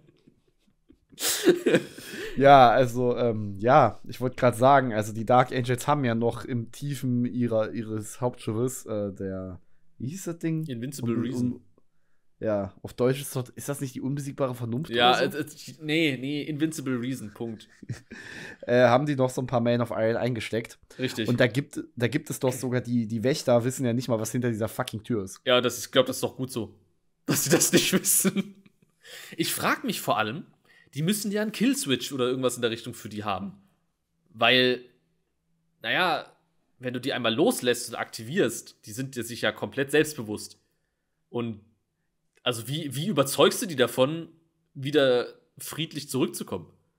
Ich glaube, den hat der Imperator selbst einfach was eingebastelt. Mhm. Äh, nach dem, wieder nach dem Motto, ich es wegschließe, ne, äh, ich zerstöre, schieße ich es lieber weg. Ja, man weiß ja nicht, man weiß ja nie. Genau, und ähm, was ich mir, also ich habe zu den Men of Iron so ein bisschen ein System, äh, so eine Idee, weil äh, das, das Dumme ist halt, wa warum ist die Menschheit im Gegensatz zum Tierreich so fucking erfolgreich. Und ich meine jetzt nicht Daumen, sondern. Daumen, Julian, Daumen! Jeder von uns kann ja nix richtig gut. So, also körperlich. Jeder von, wir, der Mensch ist ein durchschnittlicher Läufer. Wir können ein bisschen schwimmen, wir können ein bisschen klettern, aber es gibt jeder immer Speziali Spezialisten im Tierreich, die da besser drin sind. Ja. Aber bei so einer Inter, Inter also ich könnte mir halt trotzdem vorstellen, dass es also das haben wir ja auch geschafft, trotzdem haben wir irgendwann Soldaten erschaffen. Irgendwann haben wir Maschinen erschaffen, die halt äh, bestimmte, sage ich mal, Aufgaben für uns zwar erlegt haben, oder, aber es gab immer Leute, die diese Maschinen gut bedienen konnten. Sagen wir jetzt mal Rennfahrer, Piloten und Co. Und ich könnte mir vorstellen, dass es bei, bei den Men of Iron natürlich auch dieses ein bisschen Allrounder-Talent gibt, Richtung Bewusstsein und Technikverständnis und so. Aber trotzdem, denke ich, wird es auch eine kriegerische Ausrichtung gegeben haben, eine technikaffine Ausrichtung und so weiter und so fort. Und ich könnte mir vorstellen, dass zum Beispiel die Krieger einfach für alles außerhalb des Kampfes nicht nötig waren. Die werden gewusst haben, wie man sich re reparieren kann und all so ein Kram. Aber ich könnte mir vorstellen, dass halt der Imperator den ein, zwei Sachen vielleicht weggenommen hat, ausgebaut hat und sich gedacht hat, okay, das sind reine Kriegsmaschinen, die sind nicht in der Lage, selbst wenn sie Rogue gehen, die Rasse der Men of Iron wieder auferstehen zu lassen. Ja, aber wenn das so in Anführungszeichen einfach gewesen wäre, sage ich mal, also dem einfach irgendwas ausschrauben und dann sind, sind sie äh, friedlich, ähm, ich glaube, dann hätte man das schon früher gemacht. Na, wer, wer, wer, kennt denn die Geschichte dieser Man of Iron? Ja, okay. Wir wissen ja, ja nicht mal, ja. War, ob, also wie und ob der Imperator sich beteiligt hat an diesem Krieg. Wahrscheinlich hat das irgendwie. Aber es kann ja auch sein, dass er irgendwann irgendwo auf einen defektes Man of Iron Schiff gestoßen ist, was irgendwie im Weltall ohne Energie rumtrieb und das Ding einfach abgeschleppt hat. Kann ja sein. So, ihr kommt jetzt mit. Ihr gehört jetzt mir. Stell dir das mal vor, so, Malkador macht so die Luke auf, guckt da rein, zieht so sein Handy raus, ja, er hat noch eins. Ähm, wir haben ein Problem. Ich, also, ich, ich kann mir das halt wirklich so vorstellen, dass sie sich das Ding halt so angucken und sie, sie macht das Ding so auf und Malkador so, oh nein, der Imperator, oh ja. so, oh nein, oh ja, oh nein, oh doch. oh doch. Oder der, und der Microdog äh, verspricht mir, dass du es zerstörst. Sicherlich. Und irgendwann kommt er so rein, zehn Men of Iron liegen da so auf dem Tisch auseinandergeschraubt. Was hast du da? Und der Brato dreht sich um mit so einem Smoothie. Nichts. ja, harte Sache, diese Men of Iron auf jeden Fall. Und, äh, ach so, ja, nee, ähm, ich habe noch ein bisschen rumgegoogelt, aber ich wäre, nein, so ein Scheiß. Ich habe meine Notizen gerade gelöscht, aber es ist nicht schlimm, es war ja alles recht fix. Ach, Julian, das ist Sofern doch mein Job. Sofern du nichts mehr hast, kann ich dir auch gerne noch ein paar äh, Trivias dazu hauen. Ja, bitte. Ich bin jetzt gespannt, was äh, du da so rausgegoogelt hast. Fun Fact: Als die. Nee, das war eigentlich nur noch, dass ich noch mal gucken wollte, welche Man of Iron es noch gibt. Und das waren dann auch diese elf eigentlich nur. Also die zehn bei den DA und den einen halt in Necromunda, der verschwunden ist. Der verschwunden ist, richtig. Ähm, Fun Fact: Die Necrons sollten ursprünglich die Man of Iron werden. Aha. Also, also, also in der Lore halt, so, so, mhm. gesehen. Mhm. Also als man da als GW das entwickelt hat damals, waren die Necrons als ursprünglich Man of Iron gedacht. Okay. Aber da es dann doch zu sehr Terminator-Abklatsch gewesen war, haben sie es dann doch mal rumgedreht. Ähm, hinzu kommt, dass es eine Theorie gibt, also es gibt ja diesen Krieg innerhalb dann der Menschheit, also Man of Iron gegen Man of Stone und Man of Gold. Jetzt ist aber das Ding, ähm, weißt du, wie lange wir schon quatschen? Mal kurz was. Ach, eine Stunde. Ja, passt doch. Also, jetzt ist ja das Ding, das klingt für mich ein bisschen nach einem Kastensystem. Weil du hast die Arbeiter, das sind die Men of Iron. Dann hast du die Techniker, die den ganzen Bums am Laufen halten, das sind die Men of Stone. Und ganz oben hast du die herrschende und denkende und leitende Kaste, das sind die Men of Gold. Jetzt ist das Problem aber, alle davon haben ein Bewusstsein. Ich sag mal so, wie es klingt, sind die Men of Stone damit zufrieden, den ganzen Scheiß zusammenzubauen, zu warten, neuen, neuen Schei geilen Scheiß zu entdecken und zu entwickeln und okay, gib ihm, ne?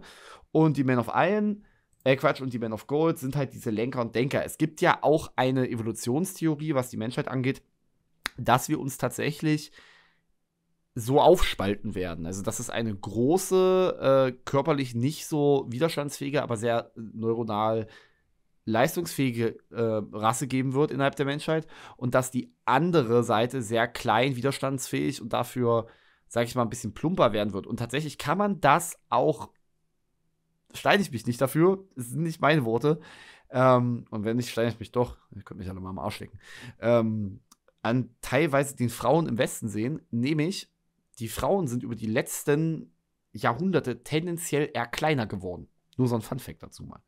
Ähm, aber das Problem an Sag diesem das Mechthild. Es gibt immer wieder große Frauen. Safe. und das hat ganz viel mit Genetik zu tun und das ist furchtbar kompliziert und ich sag mal so, ich bin der Meinung, es gibt nur Mann und Frau, aber innerhalb dieser beiden Definitionsklassen gibt es so viele Spektren genetisch. Das ist so krank interessant. Also, dass zum Beispiel auch Sportlerinnen, die so groß, lange Beine und auch teilweise einfach äh, genetisch sehr maskuline Trends haben, tatsächlich, äh, die dann aber wieder so als Vorbild rangezogen werden für Frauen, gar nicht so viel auf einer genetischen Ebene mit einer, sag ich mal, so krass femininen Frau zu tun haben. Aber das ist eine andere Geschichte. Was ich sagen will, ist, du hast also eine ganze Rasse, die ein gemeinsames Ziel hat, nämlich Galaxis-Conquesten. Ne? Cool. Mhm. Wenn aber das Ziel wegfällt, dann ist die Realität wie folgt. Men of Gold verwalten den ganzen Scheiß und Men of Stone bauen an dem Scheiß rum und Men of Iron, ja, die haben ein fucking Bewusstsein. Ihr werdet bis an euer fucking Lebensende arbeiten. Es gibt kein Himmel für euch. Ne? Mhm. Weil es gibt ja, also selbst mit diesem Bewusstsein muss aber den Man of Iron, das ist ja noch viel schlimmer, Spiritualität gilt ja für die nicht. Weil euer höheres Wesen, was euch erschaffen hat, ist zwei Türen weiter. ja. Und genau, und das fällt denen ja komplett weg. Und deswegen finde ich diese Idee, dass die Man of Iron vielleicht die Chaosgötter gefunden haben oder irgendwas aus dem Chaos, finde ich gar nicht mal so abwegig, weil sie entweder gedacht haben, also entweder haben sie vielleicht ein Angebot gekriegt. Das könnte auch sein, warum zum Beispiel Imperator so sauer aufs Chaos ist und unbedingt gegen die ran wollte weil die dran schuld waren, dass sie gesagt haben, ey, ganz ehrlich, mit uns habt ihr schon eine Zukunft, weil wir können euch organisch machen oder beziehungsweise euch aufnehmen. Oder die haben es durchgerechnet, haben Schiss bekommen und haben gedacht, ja, fuck, fuck, fuck, und wir drehen uns jetzt um. Und jetzt ist der nächste Punkt. Ähm, es gab ja, also, wenn wir uns die Geschichte der Xenophilie in, nicht Xenophilie, Bullshit. Xenophobie? Äh, wie heißt Xenophobie, danke.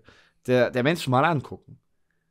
Menschen erobern Galaxis, also erobern, kolonialisieren, arbeiten mit Alienrassen zusammen oder han handeln mit denen und bekämpfen sie. Klar, alles klar.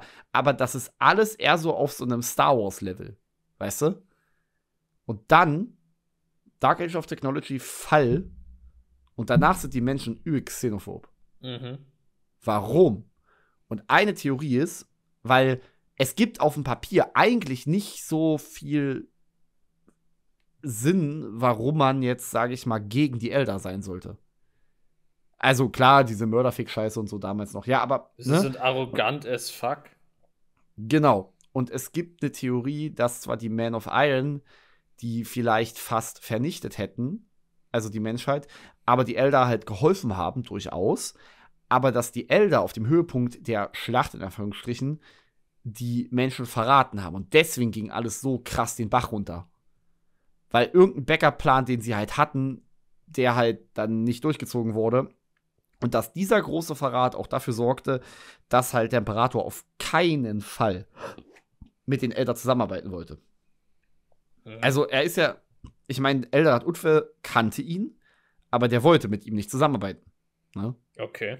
Das äh, also, da, wusste ich nicht, aber ja, ja okay. Dass die sich kannten, wusstest du nicht? Nö. Doch, doch. Ähm, und also die, die wussten voneinander, aber trotzdem ist es am Ende so, dass die Menschen aus irgendeinem Grund die Xenos hassen. Und ja, hier und da feindliche Xenos und Co., das ist richtig, aber die Menschheit hatte damals noch Common Sense, also muss ihr wahrscheinlich größter Verbündeter sie theoretisch verraten haben. Und deswegen dieses so, den Eltern kann man nicht trauen. Mhm. Also, das ist halt noch so eine weitere Theorie. Und letztendlich ist halt bei den Man of Iron das Bewusstsein ja das Problem. Also, weil wenn sie das nicht gehabt hätten, dann hätten sie die Menschen noch nicht verraten. Und die Frage, und da ist jetzt ja auch die Frage, warum hat die Menschheit den Man of Iron dieses Bewusstsein überhaupt gegeben? Weil sie es konnten. Ja, aber auf einer logischen Ebene ergibt es keinen Sinn. Ja. Äh, Oder man wollte, ja, ich mein, halt, äh, man wollte halt eigenständige ähm, ja, Arbeiter haben, denen du nicht irgendwie alles erklären musst. Ja, gut, aber du hättest halt auch eine hyperintelligente Maschine, aber nicht eine Bewusstseinsmaschine äh, ranpacken können, weil das Ding ist daran, außer du hast Aufgaben, die wirklich eigenständiges Denken erfordern, wie ein System vorzubereiten und so ein Scheiß. Mhm. Naja. So viel also zu dem Man of Iron. Hm. Jetzt bin ich Glaubst gespannt, du, was du noch für kleine äh, Themen dabei hast. Ich bringe uns noch einmal mit ich packe zwei, meinen Koffer und bringe mit. Genau. Einmal die Dark Cells, Black Cells oder auch schwarzen Zellen auf Terra. Oh, ja. Und die Dinger liegen unterhalb des imperialen Palastes und enthalten Schrecken und Artefakte des Dark Age of Technology. Mal wieder. Man die haben es. sogar eine komplette Custodes-Kompanie, die die bewacht, auch die Shadowkeepers genannt. Oder hin und wieder gibt es, es gibt auch eine weitere Einheit, die äh, bis jetzt nur in der Siege of Terror auftritt. Und das ist die Solidarität des Schlüssels.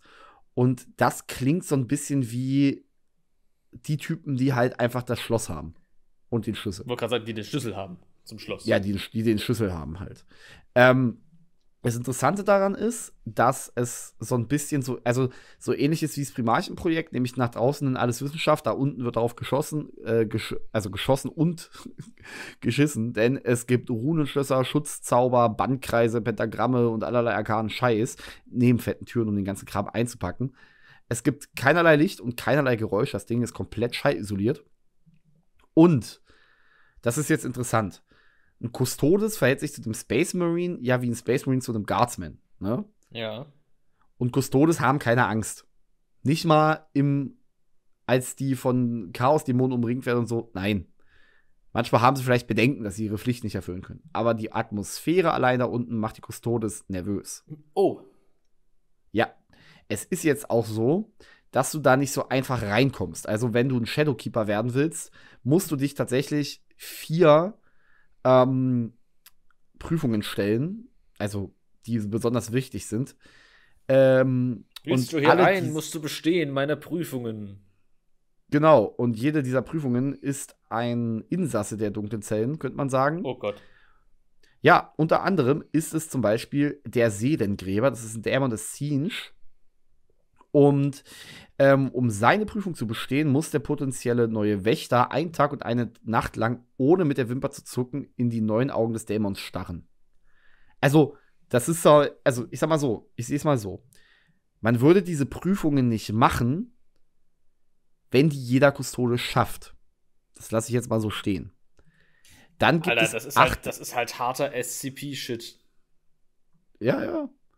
Dann gibt es die Acht des Schädels oder die acht Schädel genannt, auch eingesperrt, ist ein Dämon des Korn. Und um die Prüfung des Schädels zu bestehen, muss der potenzielle neue Wächter den Dämon besiegen, ohne seine gesamten Waffen oder seine Powerrüstung zu nutzen. Also nackter Custodes gegen den Dämon. Und so wie es ein bisschen klingt in Jahrzehnten, ist das wohl ein Bloodletter. Oh! Also geht noch. Dann gibt es noch das siebenfache Triasma. Das ist ein Dämon des Nörgel. Mhm. Ja, und um gegen das Triasma zu, anzukommen. Und Triasma ist ja klar, weil das, guck mal auf das Symbol Nörgels, das sind so drei, so eine Kreise, ne? In, mit, ne? Ja. Also alles drei. Ja. Und, ist der Lieblingszahl ähm, des drei. Ja, und deswegen musst du drei Stunden lang die Dämpfe des Dämons einatmen, ohne um Hilfe zu bitten. Oh. Dann gibt es noch den Erfüller aller sechs Wünsche. Das ist ein Dämon des Slanisch. Und um gegen ihn zu bestehen, musst du in der Lage sein, einen ganzen Tag lang und eine ganze Nacht ihm zuzuhören, ohne zu brechen. Und jetzt könnte man sich mal eine Frage stellen. Ähm, Dämonen, also nur mal so. In der Siege of Terror konnten Dämonen nicht auf Terra existieren, anfangs, wegen dem Bann des Imperators. Ne? Mhm. Diese vier aber schon. Wir wissen durch die Schlacht am Löwentor, dass Dämonen, wenn es richtig scheiße geht, doch auf Terra landen können. Aber wann können Dämonen im Realraum nur existieren, Max? Na, wenn die Verbindung, also die, die, oder wohl eher die Trennwand zwischen Warp und Realraum sehr dünn oder nicht vorhanden ist. Genau. Also, was zur Hölle ist da unten in den schwarzen Zellen, dass diese vier Dämonen da die ganze Zeit existieren können? Warum verpuffen die nicht irgendwann? Weil besessen sind es nicht. Uh. Ja. Richtig super. Ähm, ach, jetzt weiß ich, was ich noch suchen wollte. Ich, ach, verdammt. Also, denn das Ding ist folgendes: Nicht alle, die dort unten sind, haben, ähm, naja, sowas wie einen Herzschlag. Also, alles, was da unten eingeschlossen ist, äh, ist super fucking gefährlich Okay, man findet wirklich gar nichts dazu. Aber im Kodex 9. Edition steht, nicht alle Gefangenen sind am Leben, aber alle haben Anima. Was zum Fick Anima jetzt wieder ist. Und dazu gibt es nichts online. Also es gibt, ich hatte es vorhin mal aufgemacht, es gibt die Kikurixo, Kikuriko, äh, Sikurixus Anima. Äh, das ist so ein Titanteil, ähm, aber das hat damit nichts zu tun. Und wie das ein bisschen, also das klingt so ein bisschen wie magische Energie halt, zumindest. Ähm, ja, richtig super. Einige von diesen Dingern sind entkommen und werden von den Shadowkeepern gejagt. Was gibt's denn da jetzt so? Also, es gibt den schlängenden Träumer. Entkam, wurde umgelegt. Dann gibt's das, den schwarzen Periphat von Rai Yi. Dann gibt es Subjekt 11, was extrem für mich nach zumindest dem Körper des 11. Primarchen klingt. Mhm. Dann gibt es It That Craves, also es, das sich sehnt. One of the Fell, also, nee, also wirklich einer der Fell. Also, oder Fälle, keine Ahnung. Äh, das Fell, Fell ähm, das heißt sowas wie bösartig.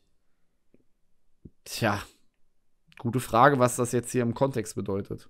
One of the Fell ähm, das Tree Blight Amulett, Klage der Unvernunft, der Käfig von Wechsen, von dem wissen wir mal wieder, was es ist. Das ist ein psionischer Verstärker. Wenn man den aufsetzt und Psioniker ist, ist man instant in der Lage, Tausende zu versklaven. Stell dir mal vor, wenn du so ein Ding mal Magnus aufsetzen würdest. Oh Gott. Äh, Fun Fact: auch Technologie, die die, die Imperial Fist gekriegt haben, um an der Phalanx ein bisschen rumzuschrauben, beziehungsweise die wieder in Betrieb zu nehmen. Oh, schön ähm, den Trauer-Kummer von Caracalla. Das Ding ist je nach Quelle vorher drin gewesen oder, das ist die andere Sache, wurde Ende M41 wieder gefangen genommen und eingesperrt. Also entweder war es bereits mal in den Zellen und ist entkommen, was ja hin und wieder mal vorkommt, oder sie haben es halt eingesagt, weil sie, also die Shadowkeeper sind bis heute in der Galaxis unterwegs und wenn sie was Gefährliches finden, dann sperren sie es ein. Mhm. Also was, was sie nicht umlegen können.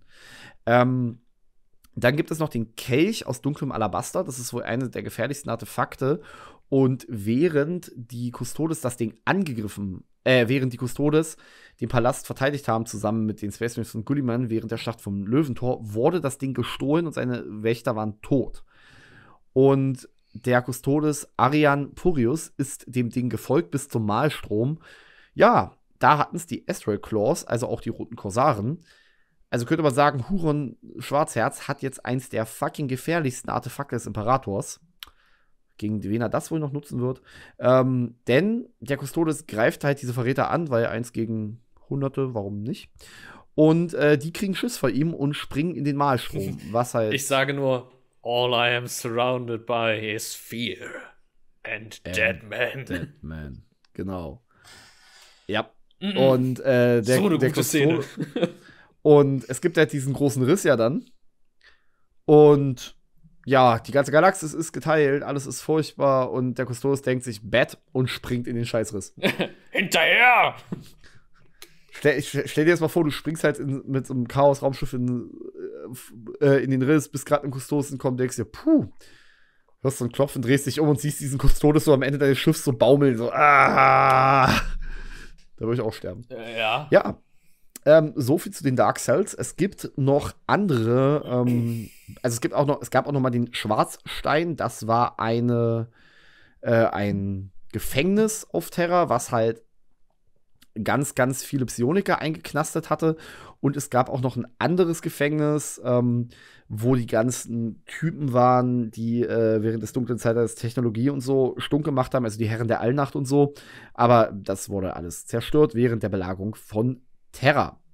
Ja, aber es gibt im Soll-System noch ein weiteres Labyrinth, könnte man sagen, genau wie die schwarzen Zellen, nämlich das sogenannte Noctis-Labyrinth oder auch Noctis Labyrinthus. Und das ist eine Region zwischen Valles Marenis und dem Tarsus-Hochland auf dem Mars und bedeutet übersetzt Labyrinth der Nacht.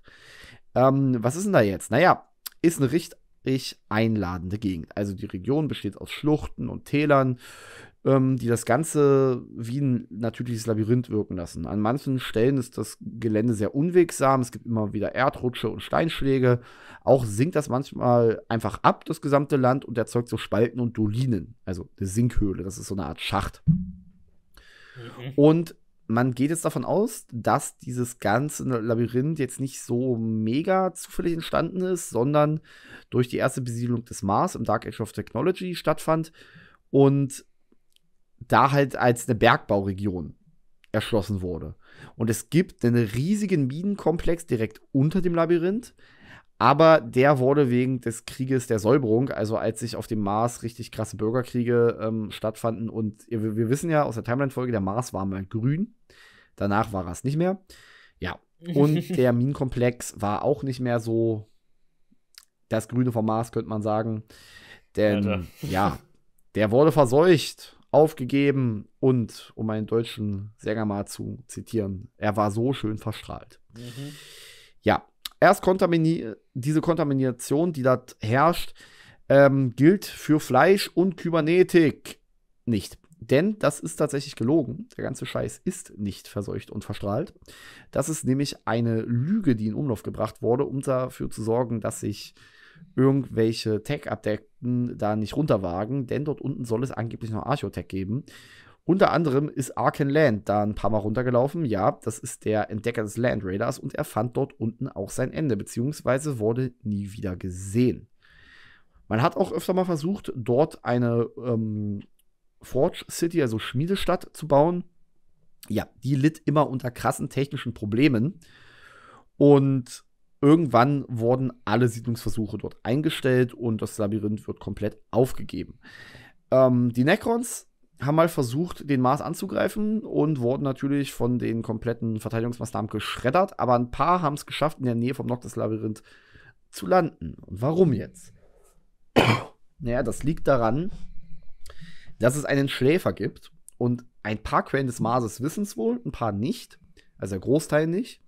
Nämlich unter dem Labyrinth schläft Magladroth, der Drache oder auch der Leerendrache. Und der wird bewacht von einer Wächterin des Drachen, einem tyrannischen Mädchen namens Daila Siurentia und einem alten Skitari namens Romu 31. Und der Imperator mochte die drei so gerne, dass er ihnen Unsterblichkeit verlangte und sie zu äh, verlangte, verlieh und sie zu fucking Perpetuals machte. Einfach so mit dem Fingerschnippen. Ja, ihr seid erst unsterblich. Viel Spaß mit der Ewigkeit. Ähm, Fun Fact: Sie waren aber, ähm, also die erste Wächterin also das ist aber nicht der erste Wächter des Drachen, sondern äh, zu dem könnte man eigentlich noch mal ein kleines Video auf YouTube machen. Der, die wurde halt auf jeden Fall ausgetauscht. Die hat den letzten abgewehrt. Äh, abgewehrt, abgelöst. Sorry, bisschen durch. Wir machen ein, zwei schmerzhafte Wunden noch ein bisschen zu schaffen. Oh das ist keine Metapher. Ich bin übel gestürzt. Ähm, ja, und so viel zum Noctis-Labyrinth. Es ist, was ich interessant finde, ist, dass der Drache ja wohl anscheinend im Mars eingekerkert wurde, um den Mars zu technisieren. Aber dass alle, die über ihm eine Schmiedestadt bauen, man müsste ja eigentlich denken, umso näher ran an das Teil, umso besser. Alle, also, dass das alles kaputt macht, weißt du? Mhm. Und ich denke tatsächlich auch, dass ein. Also, das wird nicht der gesamte Drache sein. Aber ich denke, das ist tatsächlich sein größter Teil, also zwei Drittel, könnte ich mir vorstellen. Mhm ich habe mich ja mit den Katan schon mal beschäftigt und ähm, da gibt es ja doch eine ganze, ganze Menge, die noch irgendwo rumstecken, aber so wie es klingt, denke ich, das ist so gut zwei Drittel von ihm. Äh, es gibt ja noch Drachensplitter dort draußen, so einige wenige, aber das, wie das so alles beschrieben wird, wirkt das Ding zu mächtig, weil der Drache ist ja weniger ein Lebewesen, sondern mehr ein Konzept. Also, als mal jemand in diese Höhle von ihm kommt, wird halt beschrieben, dass der Drache die Höhle ist und die Höhle ist der Drache, so nach dem Motto. Mhm. Also, das Konzept von ihm ist größer, als dass wir es verstehen und begreifen könnten. Für mehr dafür äh, gern auf YouTube. Ja. Und das sind mal drei gruselige Labyrinthe und äh, Tresore des Imperiums: Noctis Labyrinth, Case of Hell und Black Cells, wo jede Menge gruseliger Scheiß weggepackt ist. Und wenn man sich auf die Suche beginnt, findet man bestimmt noch mehr. Und ich sag mal so, wer, wer mal äh, so fragt, ja, geht euch nicht mal die Themen aus. Uns nicht und GW noch lange nicht. Immer wenn die wollen, können die irgendeine Scheiße aus diesen Dingern rausziehen. Ich wollte gerade sagen, da wird einfach unten das Labyrinth mal kurz aufgemacht, dann kommt da irgendwas raus und dann haben wir wieder Themen. ja, plus auch zum Case of Hell muss ich halt noch sagen, es gibt, das ist, das ist so insane. Also, es gibt eine, also es gibt ja eine Vision, die passiert ist, dass Ferus Manus ein psionisches, psionisches Echo nochmal auf Medusa erschienen ist, als der Imperator verwundet äh, wurde. Das ergibt auch Sinn. Er wurde von Horus zurückgeholt in der Siege of Terror. Was für Horus? Also, ja, das erkläre ich in der Iron Hands Folge mal. Und ich weiß nicht, ob es Sangunius war oder jemand anderes oder er selbst, aber einer von beiden hat auf jeden Fall mal eine kurze Vision, dass Ferros von dem Necrodermus komplett bedeckt wird. Okay. Ja, und naja, also ich glaube ja, der Gorgone kommt auf jeden Fall noch zurück. Also gerade in der Siege of Terror kriegt er noch mal massiv Lore. Und wird noch mal ein bisschen krasser ausgeschrieben. Also da auf einmal ist er in der Lage, den Warp auseinanderzureißen, was schon mächtig ist. Jo. Ja, ja. Ähm, also ich glaube, in den Case of Hell ist noch so einiges drin und ich, und ich finde halt, das klingt zumindest so, das ist, also die Case of Hell und Fulgrim ist für mich, oh mein Gott. Was ist, wenn der Ort, zu dem Fulgrim will, ein Versteck der Case of Hell ist? Ja. Und da ist irgendwas drin, was er haben will. Ich meine, das ist theoretisch neben dem Fulgrim-Plot das einzig Interessante, was die Iron Hands hätten. Und es wäre der einzige Grund, warum der Iron Hands Orden sich wie irre irgendwohin aufmacht, weil da irgendwas eingeschlossen ist. Hm. Ja, könnte Sinn ergeben. Könnte. Ja, könnte. Vielleicht ist auch alles Quatsch. Naja, egal. Ich würde mal sagen, Leute, äh, mit anderthalb Stunden, mit einer kürzeren Neujahrsfolge sind wir jetzt auch mal wieder am Ende unserer kleinen äh, Reise angelangt. Ja. Und würde sagen, ich hoffe, ihr hattet Spaß. Ich hoffe, ihr habt was dazugelernt. Und falls ihr jetzt richtig, richtig krass Bock habt, ähm, uns mal zu unterstützen oder jetzt Miniaturen bemalt, weil viele von euch sitzen ja gerade da und du denkst dir jetzt so, ey, ich könnte jetzt noch was gebrauchen. Ich bräuchte jetzt vielleicht noch einen Pinsel oder man of Iron. Den gibt es ja als Miniatur. Dann schaut gerne mal bei unserem Affiliate-Link vorbei. Der ist natürlich hier auf YouTube in der Videobeschreibung verlinkt. Ähm, ja, oder Max, falls ihr Bock auf Sonderfolgen habt, wo geht ihr da hin? Ja, da kommt jetzt das Steady. Steady ist quasi das äh, ja, deutsche Patreon. Dort könnt ihr uns 4,50 im Monat schon unterstützen. Damit bekommt ihr einmal pro Monat eine Sonderfolge und ihr kriegt Zugang auf unseren legendären Discord-Server, auf dem äh, mittlerweile eine ganze Menge passiert, eine ganze Menge rumtheoretisiert wird. Also dort findet ihr von irgendwelchen bekloppten Theorien über bekloppte Menschen bis hin zu coolen Miniaturen, die Leute angemalt haben. Findet ihr alles, auch irgendwelche äh, Gaming-Gründchen. Ich hab, bin letztes Mal aus Versehen in eine Pen-and-Paper-Runde reingestolpert. Also, ja, es gibt eine ganze Menge da. Natürlich müsst ihr auch nicht euch dort beteiligen. Ihr könnt auch einfach lurken. Das mache ich eigentlich die meiste anbeten. Zeit. Bitte? Und mich einfach anbeten. Ja, richtig. Deus betet, betet den Deus Julianus an. Ja, auf jeden Fall. Oder den, ich weiß, den Werbung. dunklen Avatar. Ja. Mhm. Mhm. Und ich würde jetzt einfach mal sagen, ähm, wenn ihr es bis hierher geschafft habt und das, diese, diese irren Leute, die jetzt nach der Werbung immer noch da sind, kriege ich jetzt eine Aufgabe.